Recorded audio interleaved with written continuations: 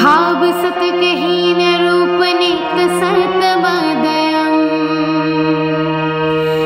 वङ्मनोति गोचरञ्च नेति नेति भावितम्। तं नमामि देवदेव रामकृष्णमीश्वरम् आदितेयभिहरं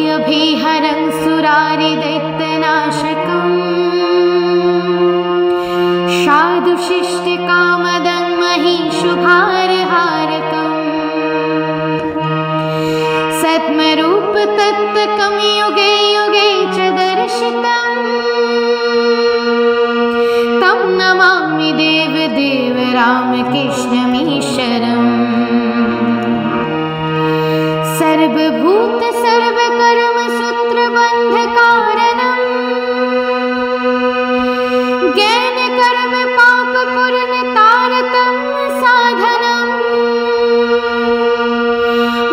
साक्षी देव देव राम कृष्ण सर्वकर्मभाषणम् तं नमामि देवदेव रामकृष्णमीशरम् सर्वजीवपापनाशकारणं भवेशरम्। शीकृत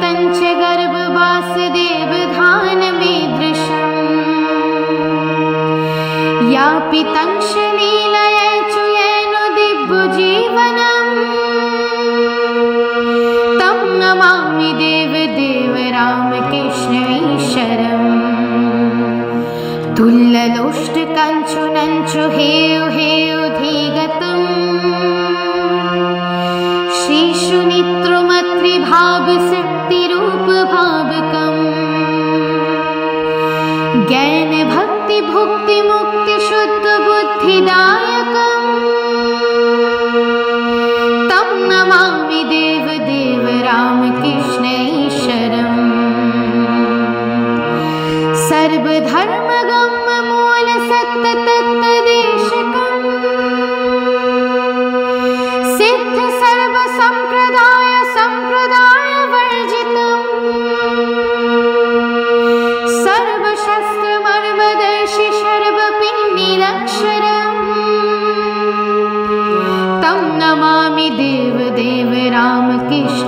रामकृष्णमीश्वरम् चारुदर्शकालिका सुगीतचारुगायकम्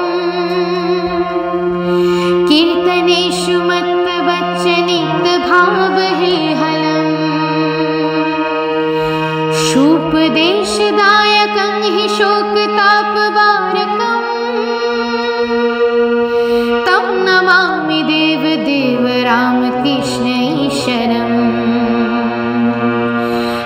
पादपद्मतत्त्वबोधशान्तिशोखदायकम् सत्तचित्तभक्तिसूननित्यवित्तवर्धकम्